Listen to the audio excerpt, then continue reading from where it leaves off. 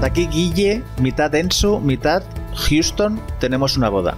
Antes de ir al podcast de hoy, informaros de que estamos cogiendo los más de 100 episodios que tenemos grabados y reconvirtiéndolos en clips de vídeo súper cortos con una cantidad de consejos brutal.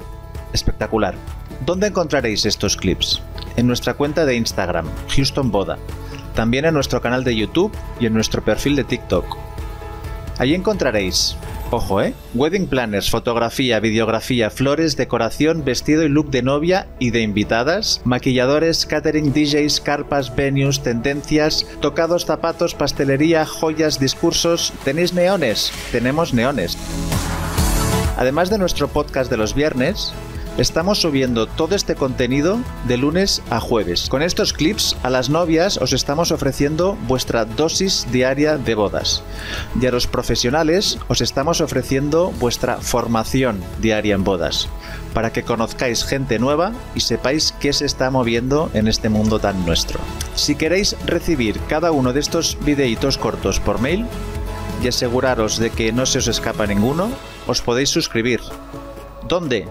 Tenéis el enlace en el perfil de nuestra cuenta de Instagram, Houston Boda. Este mensaje se autodestruirá en 5 segundos. Marta, te amo. Houston, tenemos una boda.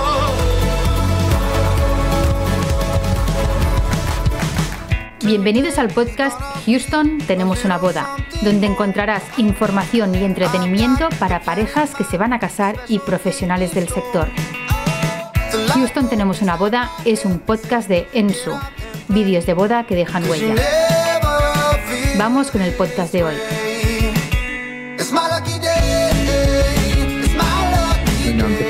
Ahí estamos. Eh, hoy vamos a tener un episodio en Houston. Tenemos una boda lleno de luz y durante la charla vamos a intentar iluminar aspectos muy importantes en una boda que a menudo no se les da el valor que tienen. Eh, así vamos a arrojar luz sobre ellos. Como habréis adivinado los que estáis escuchando o nos estáis viendo por YouTube, eh, por esa presentación que acabamos de hacer, vamos hoy a hablar de iluminación en las bodas. Y para ello tenemos la suerte de tener con nosotros a Luis de Luces de Cuento. Em, Luces de Cuento es una empresa que pertenece a High Volume Events y que, como ellos mismos eh, cuentan, han llegado para revolucionar el mundo de las bodas y de los eventos amantes del decolighting, eh, ellos transforman los espacios a través de la luz y usan eh, también como complemento otros elementos como serían plantas, telas, para completar esa puesta en escena. Pero eh, es su trabajo de iluminación lo que realmente nos interesa hoy desarrollar y lo que crea sobre todo esa magia, ¿no? Porque la magia siempre la hemos asociado todos a la luz, como por ejemplo en las varitas mágicas de las hadas que brillan, ¿no? Como las estrellas. Luis, ¿Por qué la luz es tan mágica? Bueno, lo primero, muchas gracias por la, por la invitación al, podcast. No sé si no sé si hemos llegado para revolucionar, pero sí para, creo que mm, poner en importancia, yo creo que la gente ya se está dando cuenta, pero poner en importancia de lo que es la iluminación, no solo a nivel boda, sino a nivel evento y ni que decir en, en los espacios ya más instalaciones fijas como en restaurantes, etcétera, ¿vale? Entonces, eh, a tu pregunta de por qué es tan, tan mágica la luz, bueno, yo creo que la luz eh, se puede ver que lo cambia todo, ¿no? En las películas, ¿no? Si hay poca luz, pues a lo mejor le puede dar un ambiente más de, no sé, de terror, o si a lo mejor necesitas un tipo de luz, a lo mejor para espacios donde trabajo, pueden ser reuniones o una, simplemente una cocina, un despacho, ¿no? La, la luz es que te lo cambia todo, te lo cambia todo, ¿no? Un, sitio muy lúgubre eh, te puede dar miedo y ese mismo espacio lleno de luz te puede transmitir calidez o frío o incluso ambiente festivo. Así que yo creo que la luz lo, es todo, ¿no? Y eh, no sé, eh, no sé, yo creo que todos inconscientemente nos damos cuenta, pero, pero no nos atrevíamos a darle la importancia que tiene que aún, está, aún hay mucho que recorrer, ¿no? Pero en el mundo de las, de las bodas principalmente, que se dedica a este podcast, yo creo que cada día va cogiendo más, más fuerza y, eso creo que es importante. Claro, eh, vamos a, un poco a explicar con qué elementos podemos jugar porque hoy en día cada vez hay como más, em, más que podríamos relacionar con el tema de la luz, por así decirlo, de alguna manera u otra. Eh, a mí a la cabeza así directamente me vienen pues focos de luz que podemos utilizar para proyectarlos sobre algo o para eh, eh, lámparas es una cosa que hoy en día también se juega muchísimo con las lámparas, con las lucecitas colgantes también. ¿Qué me dejo? ¿Qué más se puede usar para crear ese ambiente y, ese diseño de luz? Lo primero que, quiero decir, yo creo que mm, es bueno que mm, yo creo que a menos para nosotros, a menos decorado esté el espacio, no más diáfano, más tal, mejor porque podemos jugar más y la transformación va a ser mayor, ¿no? Si el espacio ya cuenta con a lo mejor em, pues otros elementos ya decorativos, etcétera, ya a lo mejor nos lo complica un poco más, aunque nada más lejos de la, de la realidad, siempre simplemente tendremos que buscar elementos que sumen ¿no? y que vayan acorde con el estilo de deco de esa sala ¿no? y que esperemos que le guste a los, a los novios. ¿no? A veces incluso nos toca quitar elementos fijos ya de la sala una lámpara, no sé, un flexo o tal, disimularlos, quitarlos para luego volver a ponerlos, bueno, en fin, ¿vale? Luego, Marta, hay cierto tipo de elementos que combinan muy bien con las luces, que ahora me meteré con tu pregunta, no pienses que no la estoy llevando. Pero luego hay ciertos elementos que nos hemos ido incorporando con el paso de los años, como por ejemplo los, las plantas o telas o cosas así que combinan muy bien, ¿vale? Entonces, claro, nos da un, universo infinito de, posibilidades, incluso elementos como sofás, eh, no sé, mesas, cosas así también son combinables, a lo mejor en menor medida, ¿no? Por eso también siempre es muy importante em, ir en consonancia con un poco con los, con los cáteres que también, con el paso de estos años, también han implementado en su, digamos, en su, en su trabajo el tema de la decoración, ¿vale? Me preguntabas que qué elementos eh, podíamos introducir. Bueno, no solo es la bombilla, que existen ahora 200.000 tipos de, bombillas con formas, formas externas y, formas internas, ¿no? Lo que es el, filamento incluso ya es decorativo, ¿no? Em, los cristales también pueden ser ahumados o, de colores, etcétera, ¿no? Ya no, ya no solo la, tonalidad de la, de la, bombilla, sino también los, evidentemente, los colores. ¿Qué decir de las lámparas, ¿no? Que son a lo mejor los grandes, eh, como tú bien has dicho, hacemos decolighting, ¿no? Decoramos con, con luz. Evidentemente, con lo que estoy diciendo no es que solo eh, decoremos con, con, luz, pero sí que es el, lo principal, ¿no? Em, las lámparas sin duda pues marcan muchas las tendencias. Eh, por ejemplo, pues yo qué sé, pues eh, si le quieres dar un toque más, a lo mejor más campestre, pues puedes pues con, con, lámparas de ratán, de rafia, cosas así. Luego si quieres irte a cosas más, eh, más clásicas, pues a lo mejor lámparas de, de, cristal o si quieres a lo mejor algo más novedoso, pues están muy de moda las lámparas de, perlas o, o, de caracolas. Y bueno, en definitiva, seguro que en los próximos años, o incluso ya están en tipos de lámparas que ahora mismo no pensamos que se van a poner de moda y seguro que, quien dé el primer pasito, seguro que, se lleva el gato al agua y, yo creo que al final esto también es un poco arriesgar. Entiendo a los novios que es su día, eh, quieren, quieren, quieren verlo, ¿no? Antes de montarlo y les entiendo perfectamente, pero bueno, también hay muchas parejas que se dejan asesorar, la mayoría de hecho, y, hay muchas que, arriesgan, ¿no? Incluso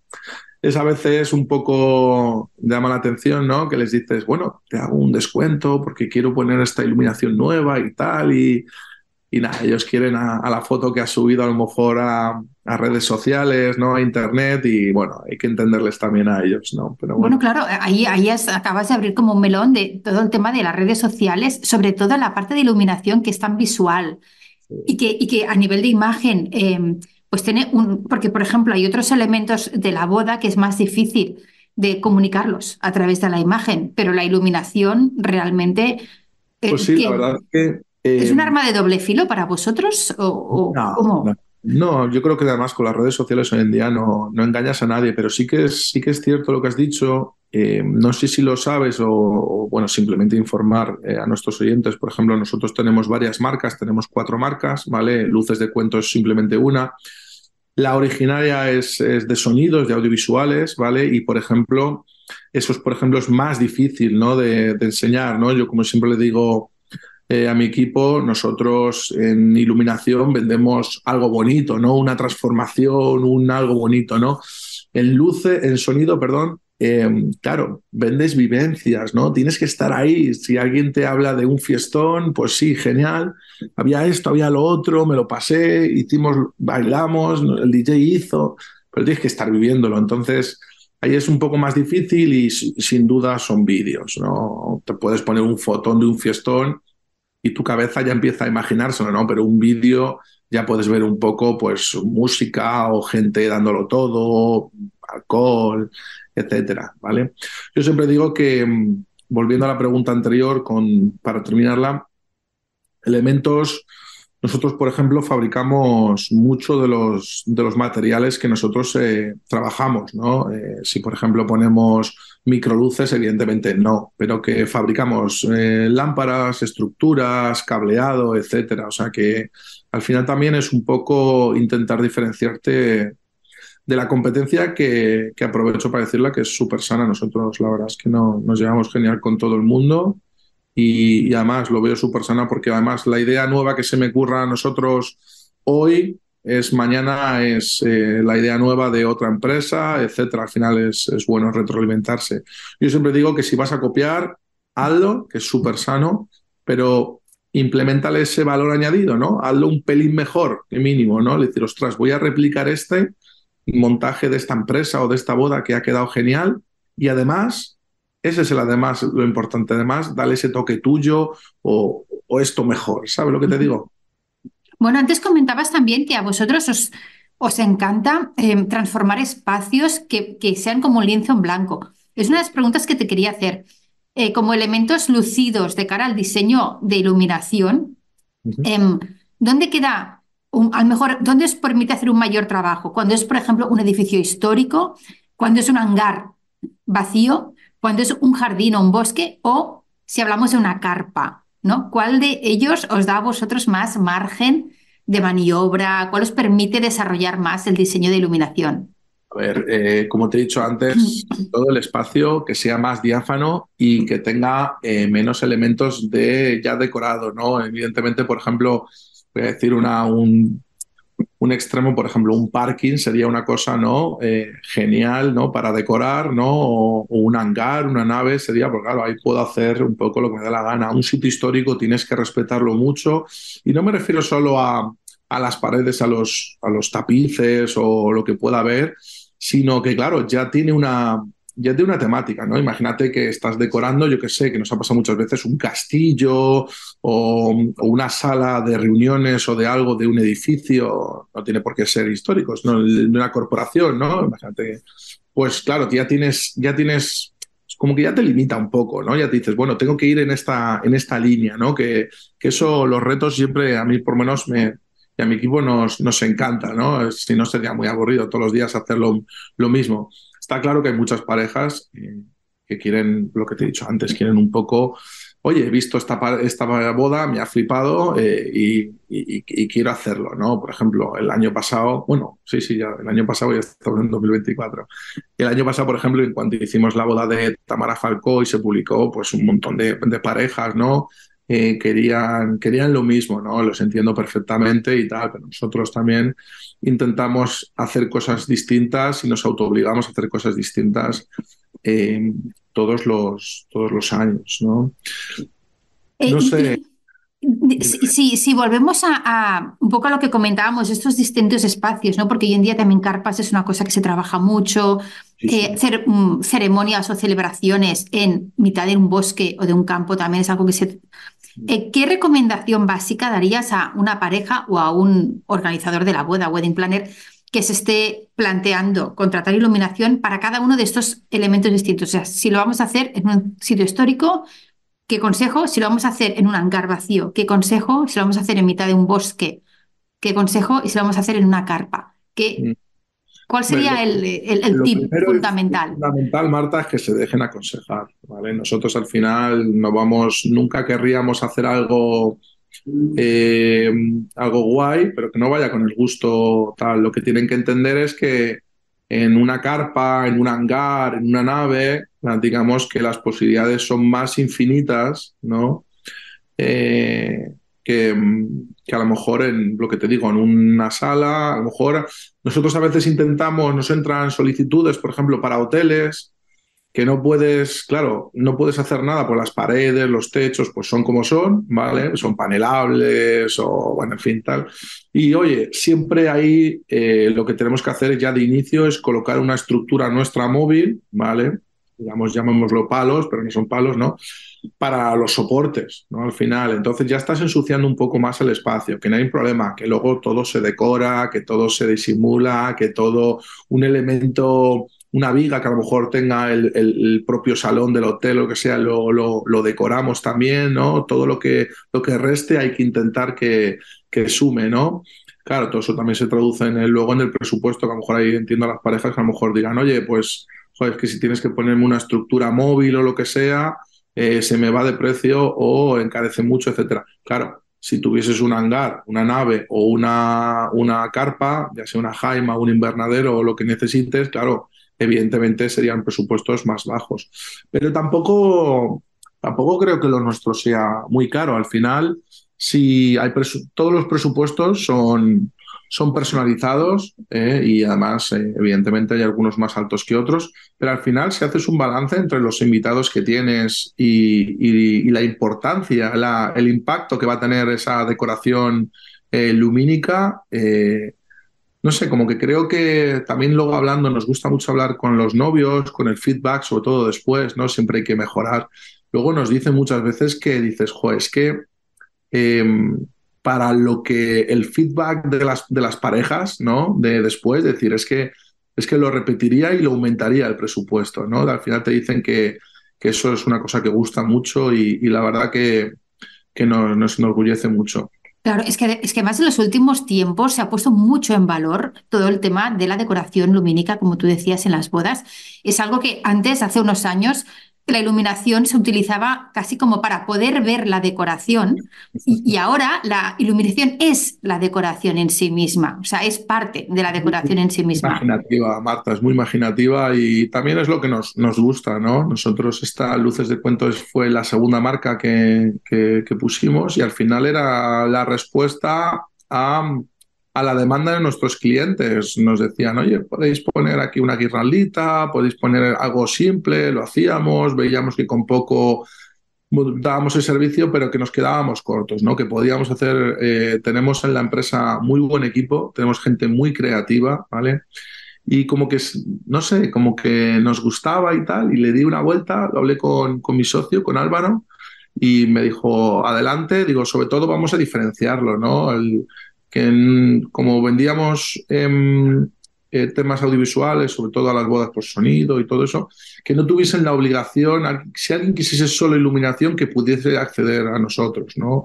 Y no, y no mezclar o manchar, por ejemplo, redes sociales, ¿no? Imagínate que no hubiésemos creado esta segunda marca, Luces de Cuento, en, al final en nuestra página web o en nuestro YouTube o Instagram, se verían varias cosas, ¿no? Cosas divertidas, cosas bonitas, etcétera, y estaría un poco todo mezclado, incluso faltaría un poco de identidad, si me, si me haces, me permites decirlo, ¿no? Como decir, oye, ¿a qué se dedica esta empresa? ¿no? Y tal. Pero bueno, esto es una opinión muy personal. Seguro que hay otras empresas que lo quieren tener todo juntito, por todo en el mismo nombre, y también es lícito, ¿no? Claro. Em, yo, yo lo, que me, lo, que me, lo que me llama muchísimo la atención es que eh, como decíamos, está puesta en valor que ha vivido estos últimos años la decoración lumínica. Em, ¿a, qué crees que, que, se ha debido? O sea, ¿qué crees que ha cambiado en la mentalidad de las parejas o en la mentalidad de los organizadores o de los espacios para decir, ostras, es que la iluminación no solo sirve para ver, es que sirve para en sí misma ser un elemento decorativo y un elemento creativo más? ¿Qué crees que ha propiciado ese cambio? Fácil, fácil pregunta. La tecnología. La tecnología, eh, te voy a contar un poco cómo ha ido, pero la, respuesta sería la tecnología, ¿no? Yo siempre recuerdo un poco, le, digo a mis padres, digo, mira, yo cuando os casasteis, eh, evidentemente no estaba en este mundo, además soy el, soy el segundo, no soy el primero, y, además digo, pero oye, no hace falta estar en vuestra boda para saber lo que hicisteis, porque era Sota, Caballo y Rey, era el baile era un vals, eh, las canciones eran las que había y se pinchaba como se pinchaba, eh, estaba mal visto incluso casarse en, fincas, era todo en hoteles, las ceremonias civiles escaseaban, casi ahora que hay, incluso hay más civiles que, que por la iglesia. Bueno, era Soto Caballo Rey. Digo, mira, ¿estás seguro que tomasteis el cóctel de gambas? ¿no? Y me dice, sí, digo, pues sé que eso sí, sé que es lo que había, ¿no? No había tampoco esta fusión, ¿no? Y este boom de, de gastronomía que tenemos hoy, ni de deco ni nada, ¿no? Entonces, la tecnología, seguro. ¿Qué ha pasado? Que esto es como todo. Primero se crea tecnología, y luego demuestras ¿no? qué se puede hacer con la tecnología, ¿no? Si, entonces, claro, una vez que demuestras, digamos, al mundo, ¿no? Al público qué se puede hacer, pues ya la gente empieza poco a poco a ponerlo en valor. Pero aún queda, ¿eh, Marta? Aún queda. Aún están las parejas, algunas que sí y otras que no. También hace, hay que dar las gracias a los influencers y, gente famosa que muchas veces em, arriesgan ¿no? y lo suben a redes sociales y lo nombran, ¿no? Oye, qué iluminación hicieron, ¿no? Qué tal, y eso siempre está a radar porque al final, ya sabes, que al final los primeros que rompen un poco el hielo, pues son un poco los, los, los más visibles, ¿no? También un aspecto importante, importante es el consumo, ¿no? Antiguamente, pues claro, a lo mejor, por decirte algo genérico, ¿no? Una bombilla de antes eran 10 de ahora o, 6 de ahora, ¿no? Depende de todo, de, de, las potencias y tal, ¿no? Pero claro, al final todo eso influye, ¿no? El que yo pueda poner ahora en una boda 200, 300, 500 bombillas, claro, con lo de antes sería un poco difícil, ¿no? Unos unos índices de consumo, de gastos importantes. Así que en la tecnología, sin duda. Vamos.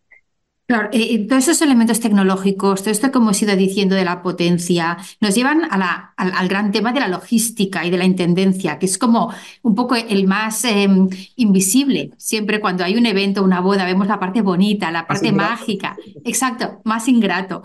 Vemos toda esa magia ¿no? de la que hablábamos, de la varita de la, de la hada madrina, ¿no? de la purpurina y de la luz. Pero para que eso suceda, detrás tiene que haber una estructura, eh, bueno, en más ingrata, menos bonita, menos poética, pero que es, imprescindible, ¿no?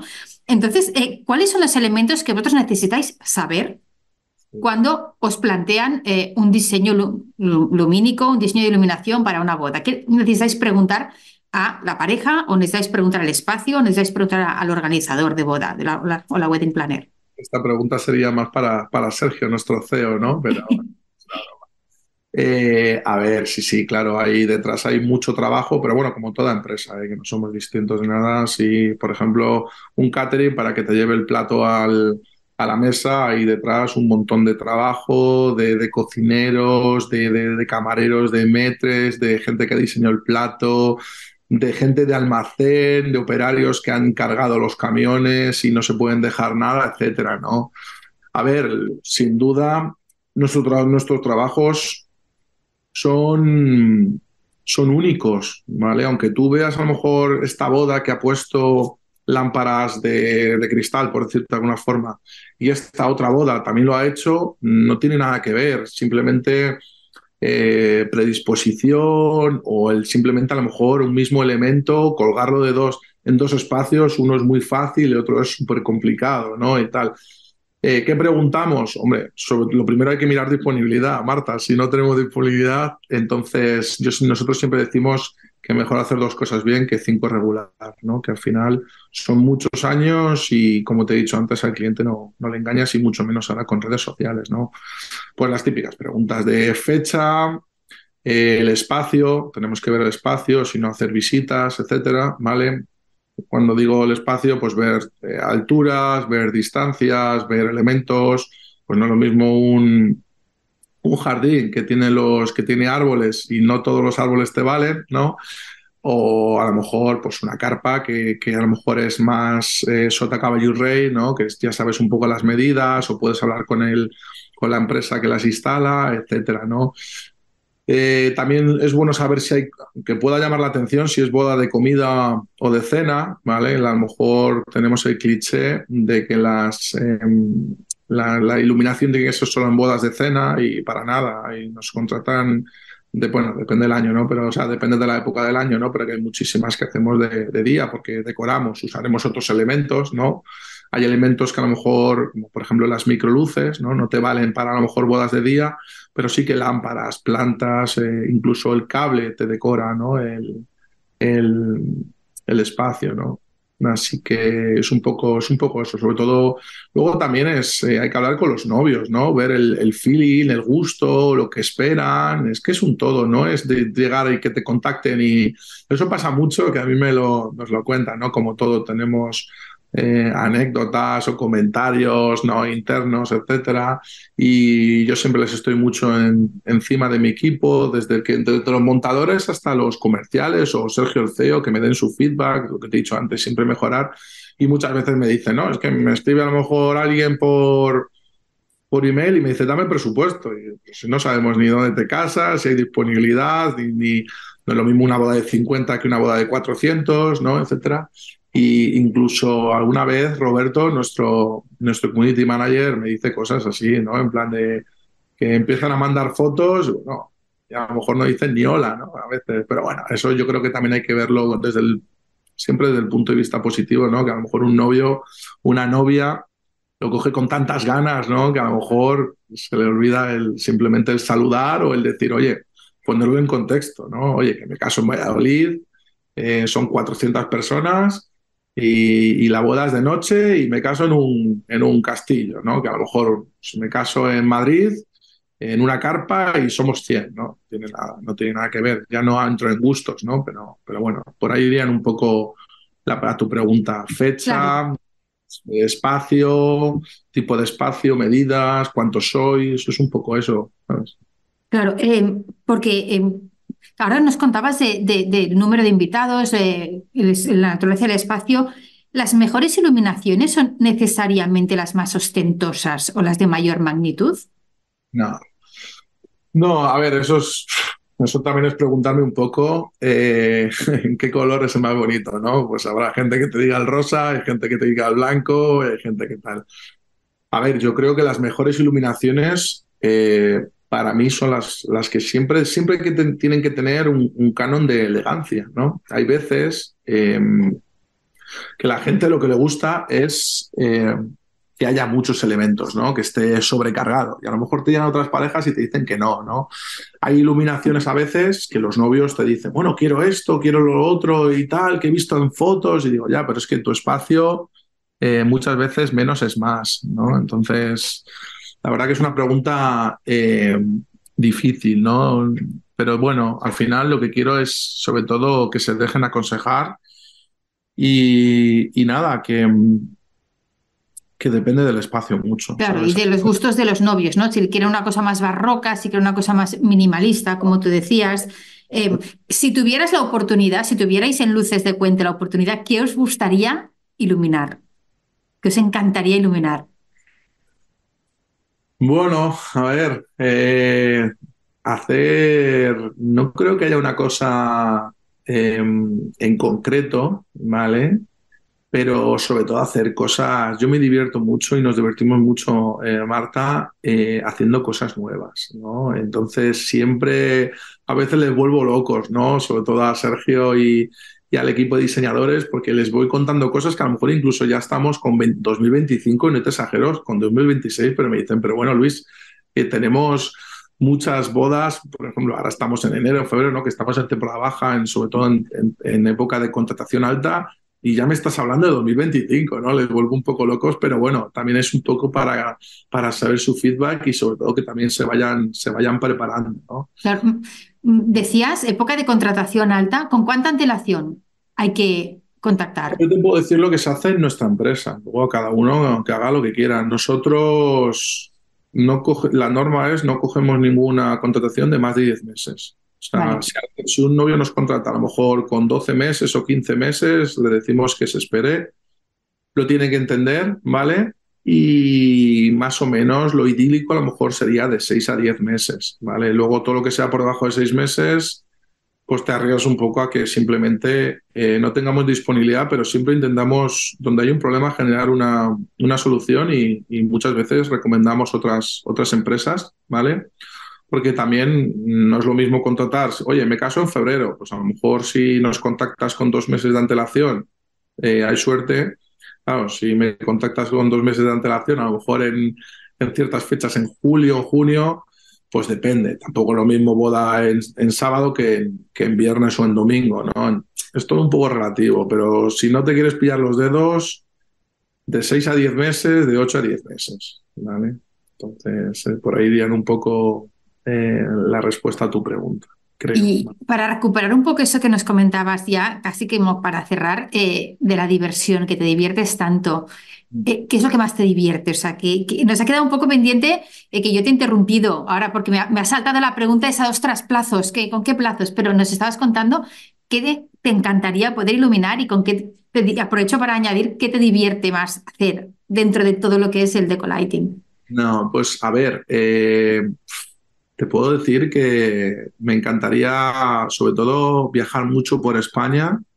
Eh, creo que hay una cantidad de, buenos profesionales eh, distribuidos por toda España que también es muy bonito conocerles y que te conozcan. hay espacios preciosos. No sé, balnearios, castillos, no sé, y, también ves muchas formas de trabajar, aunque no tenga nada que ver, ver a lo mejor a dos caterings distintos, eh, verles trabajar, siempre puedes aprender algo que, que, lo puedes implementar en tu empresa o simplemente, oye, pues lo, apuntas y, te lo quedas, etcétera. No te voy a engañar, también en, eh, siempre hay bodas em, que a lo mejor son un, un poquito más especiales, pero no por, no por el espacio, sino por la, por la persona que lo contrata que suelen ser también bodas de mucha presión. A mí personalmente nosotros lidiamos con, con bastante presión y nos gusta, es el, nuestro día a día. Y, por ejemplo, ¿no? la gente que no, no, cuando nos contactó la boda de Tamara Falcó, ¿no? este, este pasado julio, pues claro, no lo podíamos decir a nadie. Eh, bueno, pues siempre a lo mejor tienes un poco más de responsabilidad, porque al final si sale algo mal o lo que sea, ¿no? Dices, oye, nunca sale nada mal y si sale hoy, se entera toda España, ¿no? Pero bueno, yo creo que también hay que verlo de una forma eh, natural y, además yo se lo digo a mi equipo, el que no esté preparado para, para ciertas cosas, pues habrá que reubicarlo o, o, no sé, o que se tiene que poner un poco las pilas. Sería, me encantaría hacer cosas por ejemplo, en sitios emblemáticos, ¿no? O en sitios eh, muy surrealistas, ¿no? Imagínate que dices, oye, vamos a hacer una iluminación, yo qué sé, en mitad del, bosque, al lado de una, una, catarata, o a lo mejor en la cima de una montaña, o, a pie de un lago, cosas así, ¿no? sería brutal, ¿no? que a lo mejor no sirve para nada, pero te va a dejar una foto, vamos, de, revista, ¿no? Tal. Siempre hacer cosas distintas, no sé, no sé, no sé.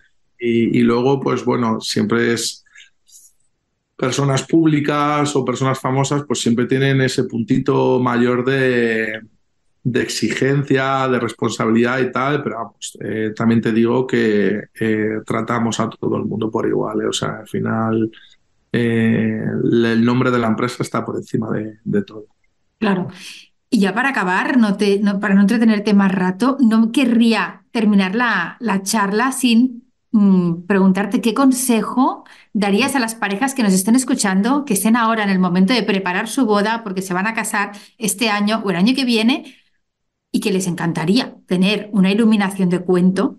Eh... Que, que, prueben ¿no? y se dejen aconsejar y, que, que, sean atrevidos. Pero no solo todo con la iluminación, ¿eh? con todo. ¿eh? O sea, si es cierto que en ciertos elementos, por ejemplo, como la comida, tienes que pensar, decir, oye, ¿por qué la gente pone, yo qué sé, el solomillo, ¿no? Pues al final es un poco porque dices, oye, pues es el plato que más creo que va a gustar, ¿no? A lo mejor a los novios su plato favorito es, yo qué sé, el cochinillo, por decirte algo, pero claro, no a todo el mundo le gusta el cochinillo, no es lo mismo comer que cenar, ¿no? A lo mejor en la cena hay Em, se da más al pescado, ¿no? ¿Por qué ponemos más carne que pescado? Pues porque a la gente le suele gustar más el pesca eh, la carne que el pescado, pero bueno, a lo mejor también son tópicos, ¿no?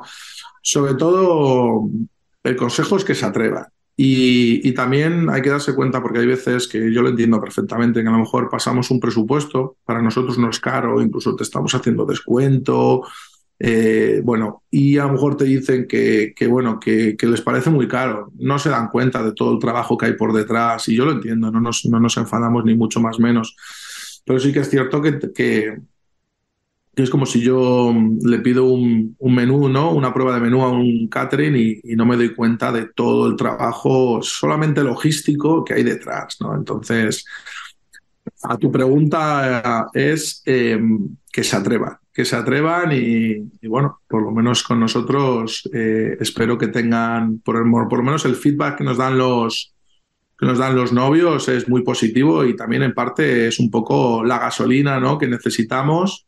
Evidentemente el dinero paga las facturas, paga la luz, paga todo, ¿no? Pero sin ese feedback positivo de los novios, eh, creo que no, no, podríamos realizar nuestro trabajo, porque eso da pie a que sigamos eh, inventando, que sigamos creando, que digas, bueno, por aquí, por aquí voy bien, ¿no? Entonces, la verdad que es bastante reconfortante, Marta. Claro que sí. Creo que no nos ha quedado nada importante en el tintero. No sé si tú crees que hay algo importante que no hayamos dicho. Eh, bueno, no sé, la verdad que yo creo que hemos repasado un poco todo, ¿no? No sé. Yo creo que sí, que, las personas que, pueden estar ahora mismo viendo por redes sociales, como hemos dicho, o que han asistido a alguna boda donde había ese trabajo increíble de iluminación decorativa eh, y han dicho, ostras, me casaré yo y yo voy a querer contar con esto. Creo que les hemos podido dar bastantes pautas de lo que se necesita, de los recursos que hay, de todo eh, muchísimas gracias, Luis, de Luces de Cuento. Por contar con vosotros y, nada, mandar un, saludo a todas las parejas que se casan en este año, que, que muchas veces, como venimos encima de tiempos un poco, ¿no? un poco malos, tal, siempre hay que recalcar que al final eh, muchas veces hablando con amigos o con tal, que cada uno tiene su opinión y hay que respetarla, ¿no? Pero ¿por qué celebrar una boda? Bueno, porque la vida son dos días, eh, al cementerio nos vamos a ir con lo justo, ¿vale? No nos vamos a poder llevar nada. Y yo creo que las vivencias, las experiencias, ¿no? El, ya no solo evidentemente de bodas, también de viajes, etcétera, eh, es lo que nos vamos a llevar a la, a la vida, ¿vale? a, la, vida, no, perdón, a la muerte. Claro que sí, hay que, hay que irse, hay que, hay que tener siempre la mochila bien llena de experiencias que, que hacen que la, que, que la vida valga la pena, ¿verdad que sí? Sí, bueno, por, por, completo, además. Eh, yo creo que en todos los trabajos, yo creo que hay muchas veces que la gente dice, eh, a nadie le apetece trabajar. Pues yo creo que sí, no sé, yo tengo un buen equipo y les noto felices y, y también eso es importante para nosotros y estamos llenos de, no sé, de anécdotas, de buenos momentos, etcétera. También es cierto que hay momentos eh, chungos, por no decir otra palabra, ¿no? Pues porque, no sé, pues porque trabajas eh, con mucho sol o de repente sería una nubecilla o, viento o te cambian las condiciones. Por ejemplo, una cosa muy importante para nosotros es cuando montamos y desmontamos. O sea, eso, una de las primeras preguntas que me hacías creo que era en plan, ¿qué, qué trabajo ¿no? ingrato hay por detrás? Pues, por ejemplo, hay muchísimas llamadas, ¿no? mucha, mucha coordinación. ¿no? Entonces, porque nada, si por ejemplo nosotros estamos montando algo aéreo, estamos molestando al catering, ¿no? A lo mejor, ¿no? Y viceversa y tal. Entonces hay que trabajar siempre en un mismo espacio, hay que trabajar eh, varias empresas y a lo mejor es tan sencillo como ponerlo en orden, ¿no? De timing, oye, pues eh, montas tú un día, yo monto al día siguiente, o montas tú eh, por la mañana yo por la tarde. Entonces, pero bueno, eh, el novio, los novios no tienen nada que, no tienen, no, ven eso, pero sí que llevan mucho trabajo. Si no, habla con Sergio que, Bueno, e, e, es que es lo que decíamos, ¿no? Que para que la magia suceda, tiene que haber detrás toda una estructura que, que la haga posible, ¿no? Ese. Em, Luis, muchísimas gracias. Eh, ha sido un placer tener a luces de cuento hablando de iluminación para bodas en el podcast Houston tenemos una boda. Ha sido un placer charlar contigo y muchas gracias, un abrazo muy fuerte y nos vemos. Nos vemos. un besito, Marta. Un beso. Chao. Si quieres consejos para tu boda, entra en houstontenemosunaboda.com. Si quieres ver un montón de vídeos de boda para inspirarte o para emocionarte, entra en ensu.es.